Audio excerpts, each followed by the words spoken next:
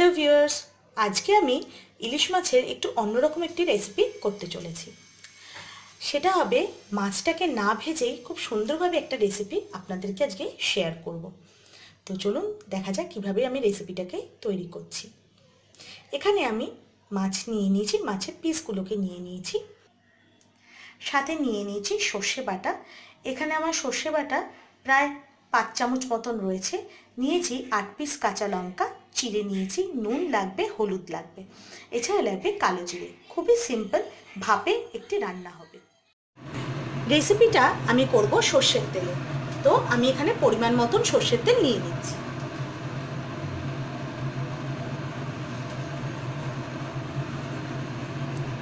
আমি তিন চামচ সর্ষের তেল দিয়ে দিলাম। বড় চামচে তিন চামচ থ্রি টেবিল স্পুন তেলটাকে আমি গরম হতে দিচ্ছি। সর্ষের তেল কিন্তু পুরো তেতে গেলে তবে আপনারা যা যা ফোড়ন দেওয়ার সেগুলোকে দিতে হবে। কারণ যদি ভালোভাবে তাতেই না নেওয়া হয়, তাহলে কিন্তু সর্ষের তেলে একটা কাঁচা গন্ধ ছাড়বে সর্ষের তেলটা ভালোভাবে তেতে গেছে। এবার আমি এতে দিয়ে দিচ্ছি ছোট চামচের এক চামচ কালো জিরা। কালো জিরাটাকে ফোড়ন হয়ে নিতে দিচ্ছি। এবার আমি এতে দিচ্ছি আট পিস আমরা কাঁচা লঙ্কা চিড়ে রেখেছি, তার মধ্যে চার পিস আমি দিয়ে দিচ্ছি।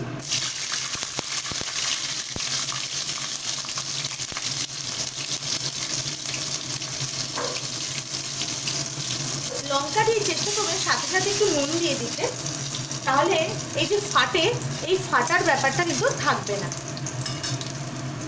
আমরা ফোড়ন দিয়ে দিলাম। এবারে আমি দিয়ে দিচ্ছি সর্ষে বাটাটা। আপনারা এই রেসিপিটা লঙ্কা বাটা দিয়েও করতে পারেন। লঙ্কা বাটা দিয়ে করলেও একই টেস্ট আসবে। যেহেতু আমাদের বাড়িতে সবাই একটু ঝাল কম খায়, তাই আমি লঙ্কা বাটা ইউজ করছি না, আমি চেরা লঙ্কা ইউজ করছি। যাদের ঝাল প্রয়োজন, তারা লঙ্কা ডলে খেয়ে নেবে।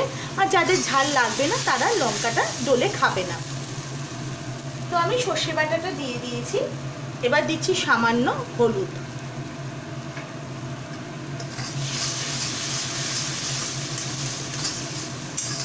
একটু মশলাটাকে একটু ভাজা ভাজা হতে দিচ্ছি।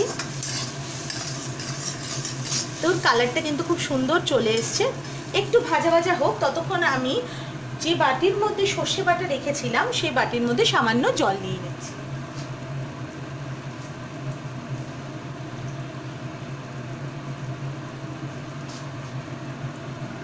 সর্ষে বাটাটা ভালোভাবে কিন্তু মশলাটা কষে গেছে। এই মশলা কষার সময় আমি নুনটুকু বাকি দিয়ে দিচ্ছি।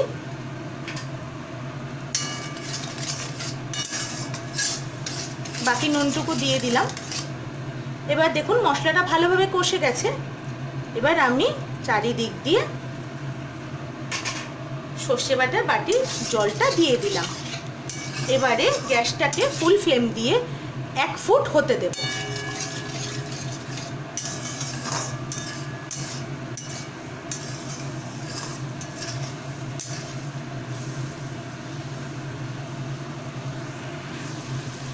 দেখুন, এক ফুট হয়ে গেছে। এবারে আমি মাছের পিসগুলোকে সব এখান দিয়ে গ্যাসটা সিম করে মাছগুলোকে সাজিয়ে দিচ্ছি।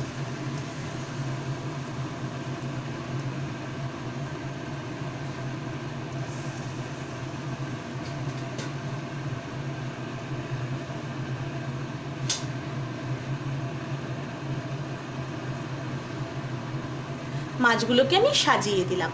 এবারে যেটা করব, ঢাকনা দিয়ে ভাপে আমি রেসিপিটাকে রেডি করব। আমি গ্যাস সিম করে দিচ্ছি এবার শুধু ঢাকনা দিয়ে রেখে দেব। পাঁচ মিনিট আমি ভাপে রেখে দিয়েছিলাম।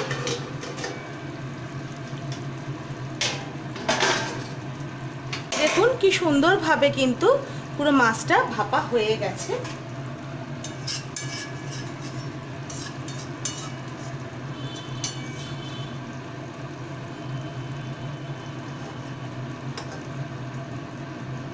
এবার আমি যেটা করব,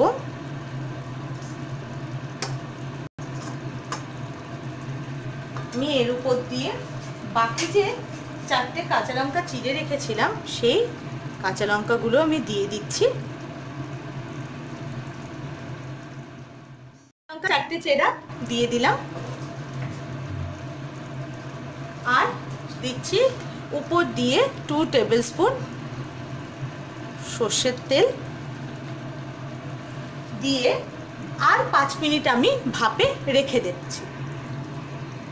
নুনটা কিন্তু আপনারা এই সময় চেক করে নেবেন যে নুন আর লাগবে কি লাগবে না।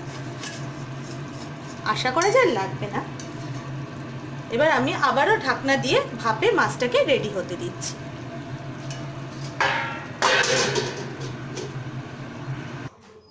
সো ভিউয়ার্স আমাদের রান্না কিন্তু টোটালি কমপ্লিট দেখতেই পাচ্ছেন, খুব সুন্দরভাবে আমাদের ইলিশ মাছটা রেডি হয়ে গেছে। তো এই রেসিপিটার নাম আপনারা অবশ্যই তেল ইলিশ দিতেই পারেন। তো খুবই সুন্দর একটি রেসিপি এবং খুবই চটজলদি তৈরি হয়ে যায়। অনেকটা ভাপের মতোই সর্ষে বাটা দিয়ে, কিন্তু খেয়ে দেখবেন টেস্টটা কিন্তু ভাপের থেকে অনেক বেশি ভালো লাগবে। তো এখন এই পর্যন্তই। সো ভিউয়ার্স আপনাদের যদি এই রেসিপিটি ভালো লেগে থাকে, তাহলে লাইক শেয়ার কমেন্ট অবশ্যই করবেন এবং সাবস্ক্রাইব করবেন এই চ্যানেলটিকে ফিরে আসব আবার নানান রকম রেসিপিস নিয়ে।